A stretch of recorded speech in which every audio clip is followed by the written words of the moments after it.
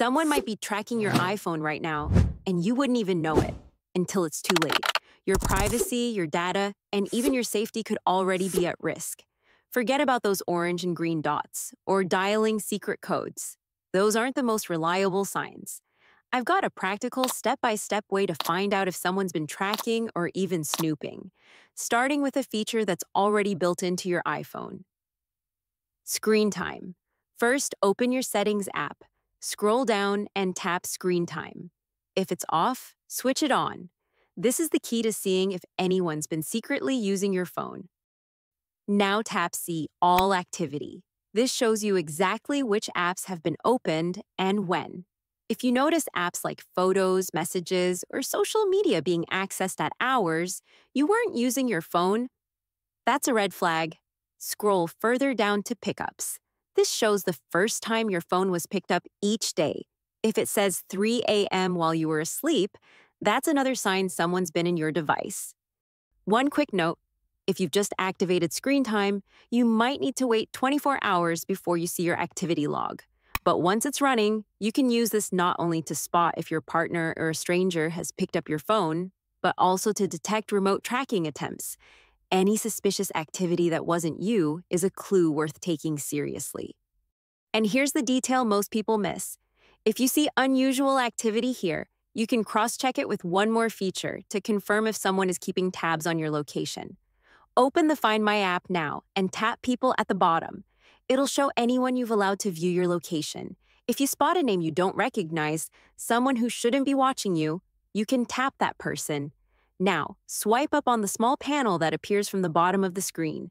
From here, select Stop Sharing My Location to immediately revoke access. Want to shut it off completely? Tap the Me tab at the bottom, then switch off Share My Location that instantly blocks all location access from everyone. If you want more confirmation, open Settings, tap your name, then Find My and toggle of sharing my location, or go to Privacy and Security, Location Services, Find My, to review who could be tracking you from system settings. Here's something many don't realize. Turning sharing off through settings does not notify anyone. They just lose access quietly. And unlike sharing via messages, there are no banners or invitations sent out when you revoke access via Find My. Still suspicious? Go back to Settings and tap your name at the top. Scroll to the bottom. You'll see a list of every device signed in with your Apple ID. If you spot something you don't own or haven't used in years, tap it, then tap Remove from Account. If that device keeps reappearing later, it means it's still signed in somewhere. You'll need to sign out of iCloud on that device or erase it so it can't reconnect. Now check the part almost everyone forgets your trusted phone numbers. These numbers can receive verification codes and even help reset your password. So if a number you don't control is here, someone else could break back in. In Settings, tap your name, Sign In, and Security, two factor authentication. Edit next to trusted phone numbers. Remove any number you don't own. Then add your current number and a second backup you control. Change your Apple ID password next. In Settings, tap your name, Sign In, and Security. Change password and set a brand new one you've never reused anywhere else. This instantly kicks out anyone who had your old password. This one's sneaky because it hides in a place most iPhone users never even check.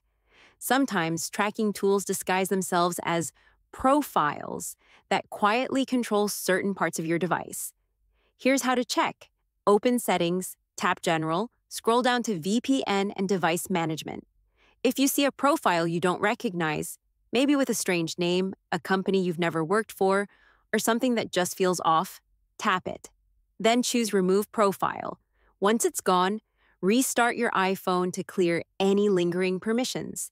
And if you want to be extra safe, Run a quick scan through your Safari extensions and installed apps to make sure nothing else slipped in with it.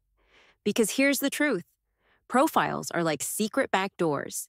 If you close them, you slam the door on anyone trying to sneak into your phone without your knowledge. If your iPhone's data bill has been climbing and you don't know why, it could be more than just streaming a few extra YouTube videos. Spying apps work quietly in the background, sending your personal information to whoever's watching. And that data trail shows up if you know where to look. Here's how to check Open Settings, tap Mobile Service or Cellular.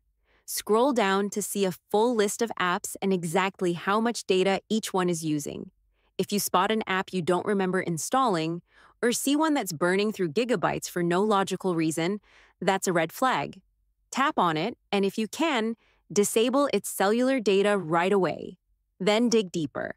Delete the suspicious app if you don't use it. Run an iPhone software update to patch any vulnerabilities. Because here's the thing legitimate apps don't hide, but a spying app, it thrives on staying invisible until your data bill exposes it.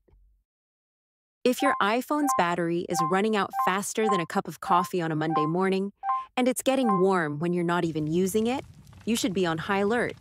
Both issues often come from the same culprit. Something is working hard in the background without your permission. Spying apps can constantly ping your GPS, send your data to unknown servers, or keep your microphone and camera active, all of which drain battery and generate heat. To check, go to Settings, then Battery, and see which apps are hogging the most power in the last 24 hours or 10 days. If you see an app you don't remember installing, or one using way too much battery for no reason, that's a red flag.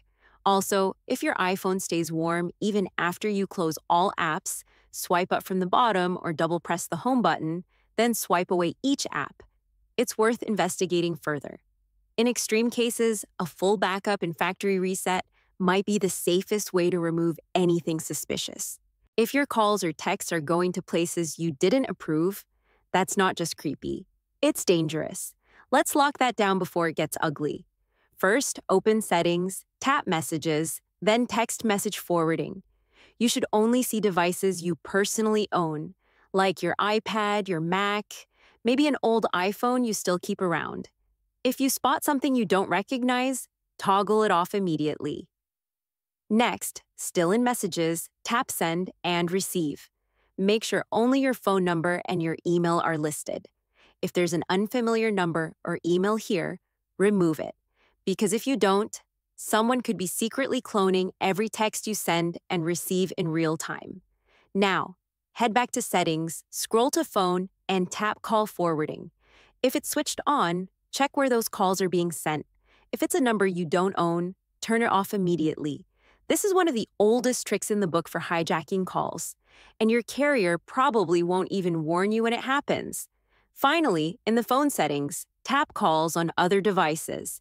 Either turn it off completely or make sure it's only on for your personal iPad or Mac. Leave a stranger's device in here, and they could be listening to your calls without you ever knowing. Bottom line if you see anything suspicious, cut it off before someone else starts answering your phone.